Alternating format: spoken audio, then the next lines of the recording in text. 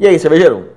Mais um episódio hoje do Mostrando Responde, mais um bem curtinho aí com uma respondendo uma dúvida, dando, dando uma dica legal pra galera.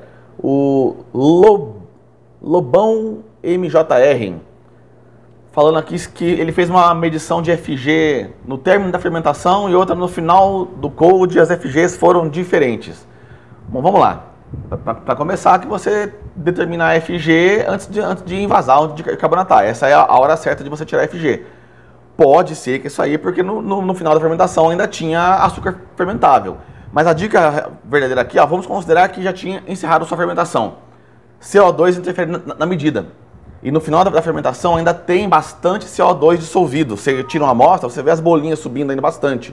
Então, sempre descarbonate a sua cerveja antes de tirar a densidade, seja em qualquer fase dela.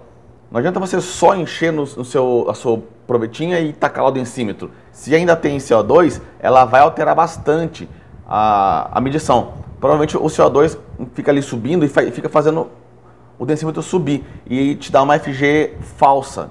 Então, tira uma amostra num copinho, chacoalha bastante ele. Se você tiver um, um Erlenmeyer pequenininho com tampa, põe no Erlenmeyer, chacoalha, abre, chacoalha, ou numa garrafa. Descarbonate sua cerveja antes de fazer a medição de densidade, tá? Provavelmente foi esse o motivo das suas FGs diferentes. No final da fermentação tinha muito, muito CO2 dissolvido, no, no, no final do cold esse CO2 já possivelmente tinha ido embora, já era uma outra medição, mas a medida provavelmente era, era a mesma, tá bom?